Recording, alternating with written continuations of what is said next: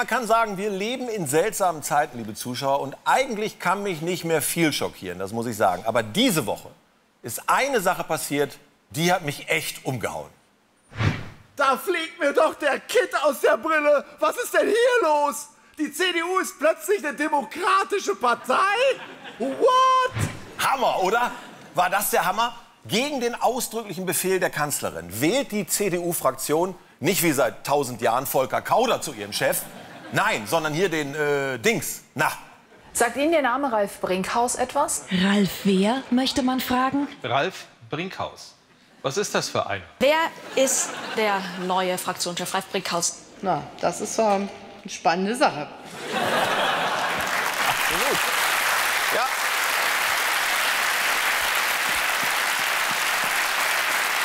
Wer ist Ralf Brinkhaus? Naja, Ralf Brinkhaus, jahrelang Stellvertreter von Kauder. Und selbst der wusste nicht, wer Brinkhaus ist. Wirklich. Ja. Nach 13 Jahren Merkel ist die arme CDU nur noch eine leere Hülle. Und wollte halt irgendwas Neues. Irgendwas. Ne? Wenn es nur ein Steuerberater aus Reda Wiedenbrück ist. Ein ganz, ganz typischer Ostwestfale. Ne? Wenn er ganz crazy drauf ist, der Brinkhaus, dann blättert er verträumt in den Ordner mit seinen größten Erfolgen. Ich habe gedacht, guck mal an, die kleine CDU wird plötzlich erwachsen ne?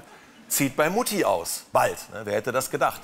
Bitter natürlich diese Woche für Merkel und für den Volker. Ne? Denn ja, klar, ich meine, der.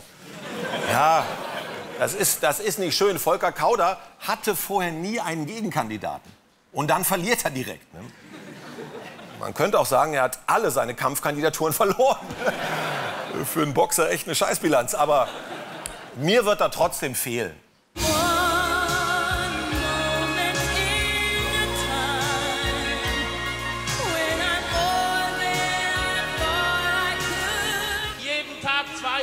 Weizenbier, die müssen einfach sein.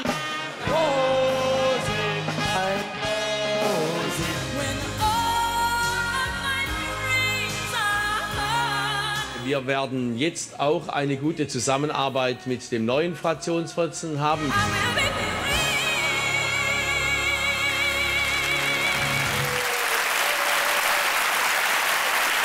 Volker.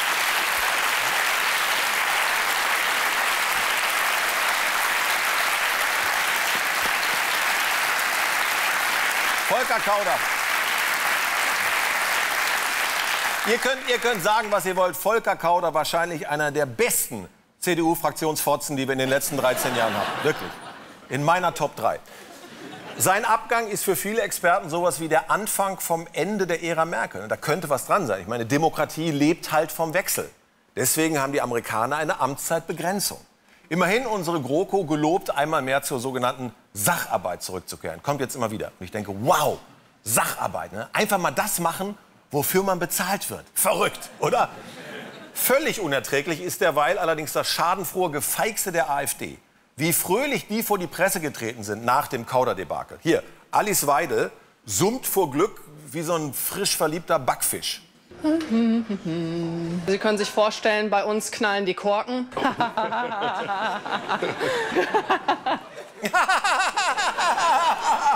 Ja, schön. Da knallen die Korken.